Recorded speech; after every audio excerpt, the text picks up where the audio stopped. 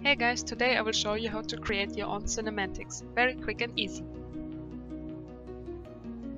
You will need a script program or macro program, whatever, you just have to create a repeating macro.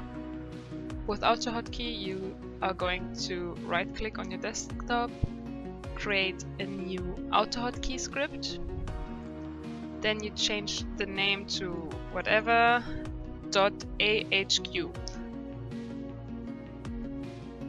Then what you want to do is right click, edit script, just copy paste the script into there, file save, and close the file.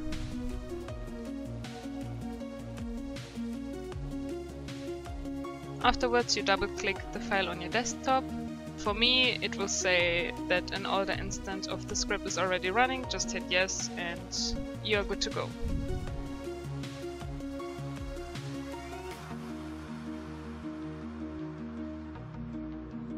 Alright, I want to record my cinematics on the highest graphics possible, so I put the graphics on high and went for a full HD render resolution.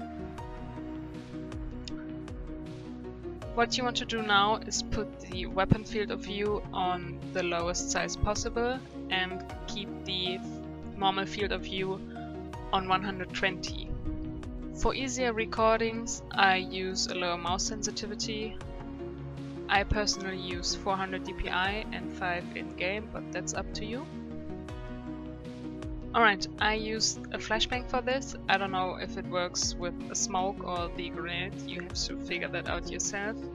In-game you simply disable the HUD and then press F5 or whatever key you use to enable the script and hold down Q and that's it. You're free to record whatever cinematic you want to do.